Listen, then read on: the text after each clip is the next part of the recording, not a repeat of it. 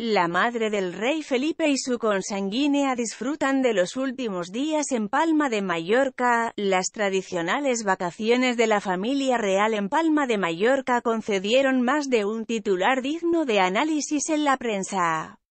El reencuentro de la reina Sofía con la reina Leticia fue un momento que quedará grabado a fuego en la memoria de los palmesanos que fueron testigos de las salidas y paseos de las aristócratas por la isla Balear. Junto con las reinas también estuvieron la princesa Irene, la princesa Leonor, la infanta Sofía y por supuesto, el rey tal como se pudo conocer, el jefe de estado y su familia se marcharon con rumbo desconocido a disfrutar de unas verdaderas vacaciones, sin estar pendientes de la presencia de los reporteros y paparazzis y sin cumplir con las obligaciones institucionales.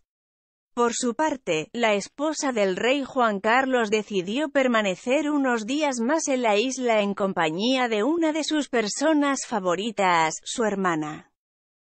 Para la madre de la infanta Cristina y de la infanta Elena, Mallorca es un sitio privilegiado en el que no solamente puede disfrutar del sol, la playa y de la mejor vista del Mediterráneo, sino que también posee un patrimonio histórico y cultural que se convierte en el principal atractivo de los turistas y en uno de los puntos más destacados para reencontrarse con amigos.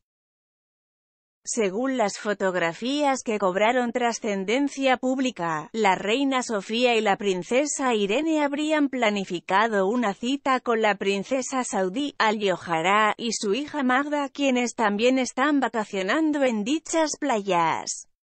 Cabe destacar que la amistad de la Royal Sia tiene larga data, de hecho, cada vez que coinciden en un territorio en común, se pondrían de acuerdo para compartir una velada. Una reunión amistosa